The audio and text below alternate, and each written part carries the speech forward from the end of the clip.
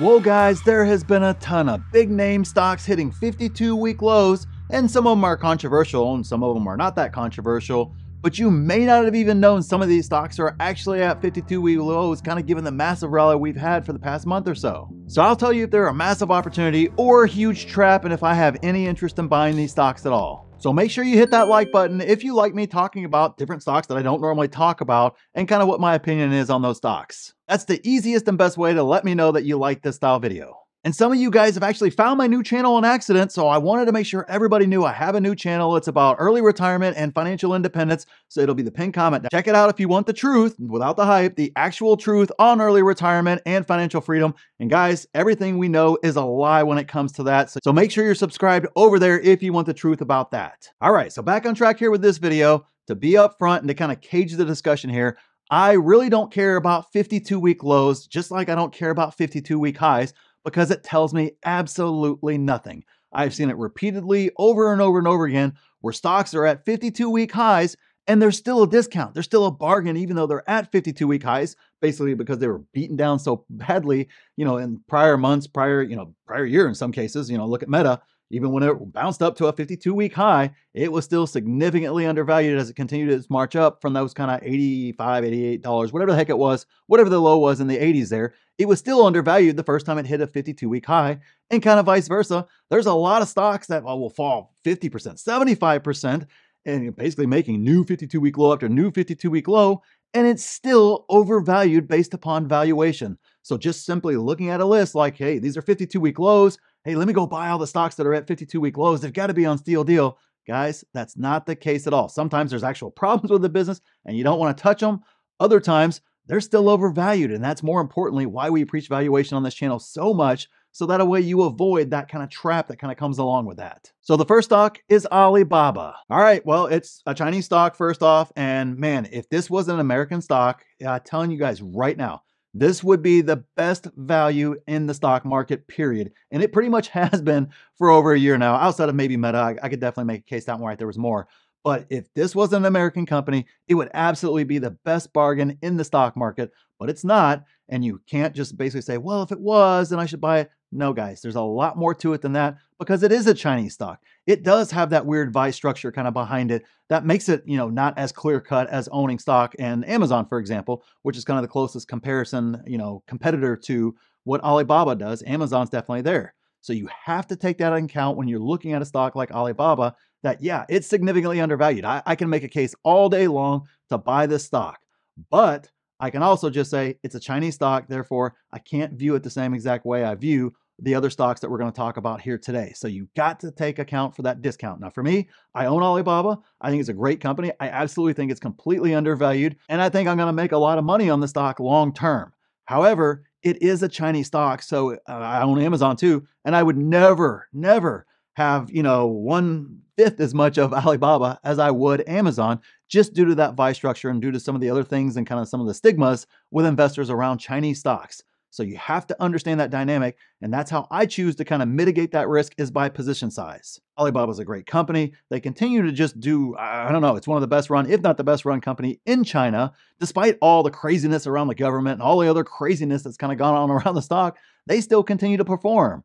So with this stock right here, could it be at a buy at 52 week low? Yeah, it absolutely could. I absolutely think the valuation and everything else about it, even with the Chinese discount, is really, really cheap but you have to understand it's a Chinese stock and you're not going to get a meta style run up. You're not going to get a lot of the same passes on a lot of stocks that you would if it was an American stock. So for me, it's a great stock, great value. But if you're not comfortable with Chinese stocks, if you don't understand the VIE structure or even know what the VIE structure is, VIE, if you don't even know what that is, you don't need to be playing around with that stock specifically. So stock number two would be Walgreens. And guys, I know, no, don't go blasting me here. Whenever I actually sat down to make this list, you know, it was actually at a 52 week low. It has had just a massive, incredible bounce up from when it hit the teens just briefly there. And it's just basically been almost like a rocket ship up. Now it's still beaten down, you know, when you kind of zoom out and look at the bigger chart, you just kind of see the trend line is basically straight down there. And that's because Walgreens has business problems with the business itself. So you've got to understand that with that particular stock, that there are business problems there. Now, I've owned it for a long, long time there. It's part of my dividend portfolio. The dividend yield right now is incredible because it's beaten down so low. But again, It's not one of these deals to where hey, it's just a beat down stock or you know kind of like kind of the old man style stocks. Some of the uh, more legacy style stocks have kind of all kind of dipped this year pretty hard in some cases. It's not one of those scenarios. There's an additional kind of thing going on over here where they have business problems. They've had turnover in the C suite.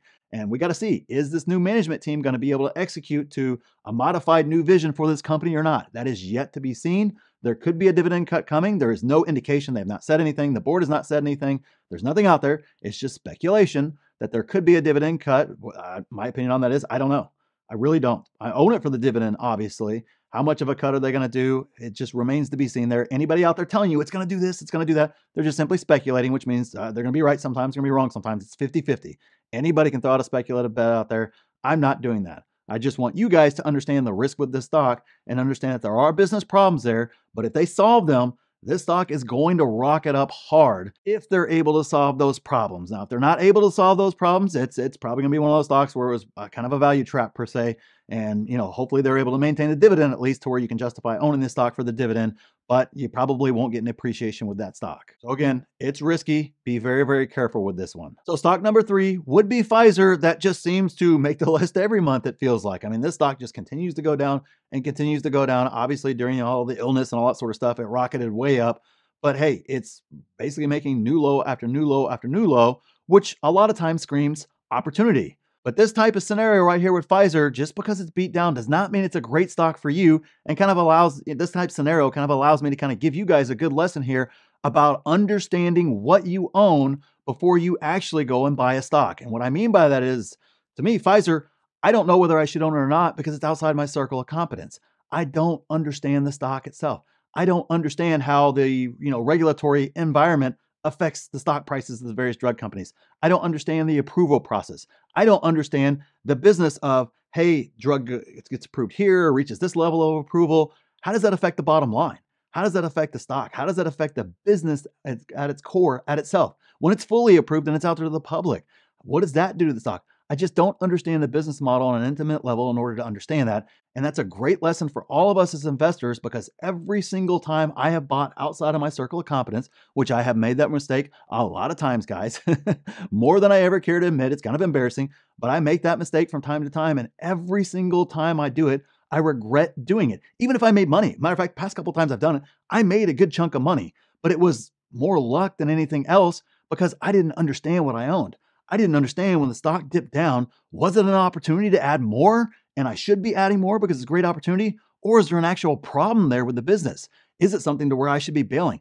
I wouldn't know. So it makes me very, very uncomfortable having these type stocks in my portfolio because I can't identify hype runs. I can't identify opportunities whenever it falls. I can't identify when Wall Street's being dumb or is there an actual problem?